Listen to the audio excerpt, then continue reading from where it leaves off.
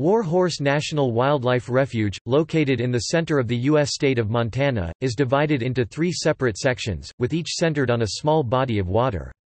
It is an integral part of the Charles M. Russell National Wildlife Refuge Complex, although the refuge is normally unstaffed and has few visitor improvements. One reservoir is stocked with rainbow trout, although the lake is sometimes empty.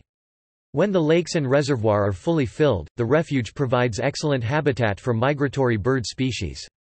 The region is surrounded by sagebrush plains and ponderosa pine groves that flourish in the region solely due to its acid shale soils.